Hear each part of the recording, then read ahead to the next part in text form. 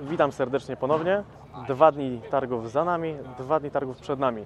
Zapraszam Państwa do środka. Pokażę dzisiaj przyczepę PWT-16 o ładowności 12 ton.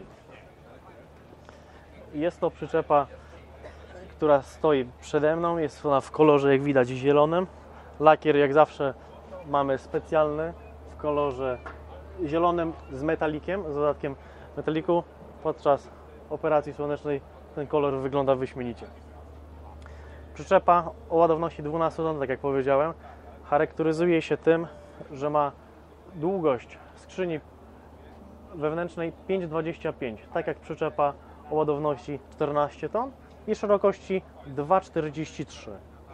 Jest to wymiar jak najbardziej paletowy. 12 palet w nią wchodzi.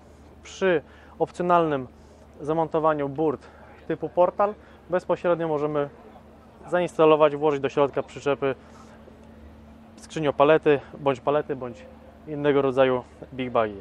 Podobnie jak w przyczepie, którą wczoraj Państwu pokazywałem, oświetlenie mamy pełno LEDowe, w tej mamy zamontowany syp jedynie wąski tylny, dodatkowo można zamontować tylny szeroki. Zaczep Orlandi, zderzak rurowy i światła LEDowe.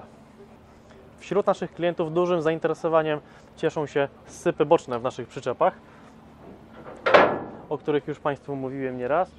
Służą one po to, żeby zboże przedostawało się dalej od przyczepy i nie spadały bezpośrednio pod koła. Jak Państwo wiecie, nasze przyczepy są bardzo niskie. Przyczepa 12-tonowa i 14-tonowa ma podłogę od ziemi na wysokości 1,33 cm przy standardowym ogumieniu, czyli 385. Jeżeli podnosimy przyczepę, to jedynie ze względu na to, że zamontujemy do niej większe koła, czyli 550 i wtedy ona automatycznie idzie nam do góry o kilka centymetrów, co jest i tak bardzo niskim współczynnikiem wśród przyczep rolniczych o takim tonażu.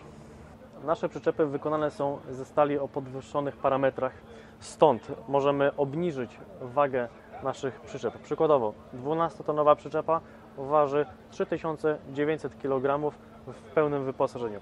Proszę sobie sprawdzić, ile ważą inne przyczepy. Ciekawym atutem naszych przyczep jest dyszel w kształcie litery Y.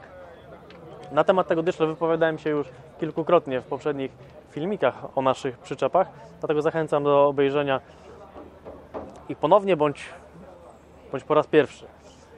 Za pomocą tego dyszla możemy wejść poprzez drabinkę na górny przedni podest, który wykonany jest stopień z blachy ocynkowanej z zapięciem bezpieczeństwa. Możemy zobaczyć, kontrolować jaką powierzchnię objętość jeszcze została nam do, do wykorzystania w przyczepie. Efekt finalny całej pracy przy przyczepie nie udałby się, gdybyśmy nie zastosowali dobrych farb. Dlatego współpracując z firmą Frankowski możemy polakierować nasze przyczepy, które wyglądają i prezentują się tak jak te tutaj obecne.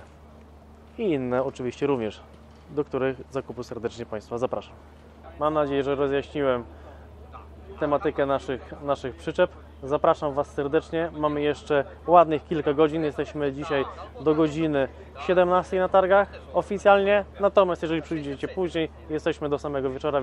Gdybyście nie zdążyli, zapraszamy do nas bezpośrednio do firmy bądź do zobaczenia na innych targach, na których na pewno będziemy.